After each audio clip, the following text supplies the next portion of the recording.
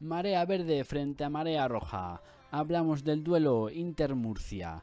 El partido de mayor temperatura en el fútbol sala nacional abrió la temporada con victoria para los murcianos 3-5 en Alcalá y 6-8 en el global, que les vale para ser supercampeones de España. La clave, cometer menos errores.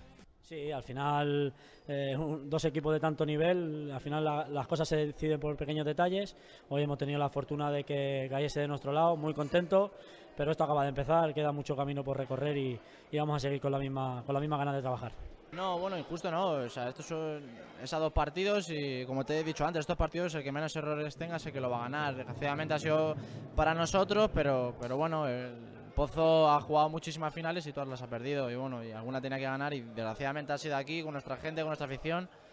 Y ha sido la verdad que un palo duro para todo el equipo.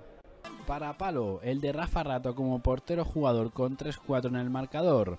O la actuación de Miguelín con sus tres goles, que les sirve para desquitarse de las dos finales perdidas la pasada campaña. La vendetta se sirvió en plato frío en el pabellón de Inter. A mí no me gusta hablar de venganza porque, porque es muy feo, ¿no? Pero está claro que cuando te ganan dos finales el año pasado, tanto la Copa de España como la Liga, eh, nos ganaron y nos dolió mucho. Pues bueno, empiezas eh, siguiente temporada, siguiente título disputado encima contra ellos, pues evidentemente quien no tenga más ganas es que no tiene sangre en la vena, ¿no? Nosotros tenemos sangre y hemos demostrado que queríamos y así ha sido. La sangre y raza de los dos equipos se vio en la intensidad, en la máxima emoción, llegando hasta la prórroga. E incluso el clásico impactó en los nuevos, nada más aterrizar clásico es el clásico y yo lo conocí rápido. Los dos, primeros partidos ahí en España ya son clásicos. Entonces entendí muy bien lo que es, pero jugar partidos así es la cosa más bonita que hay. Para cosa linda, empezar ganando un título.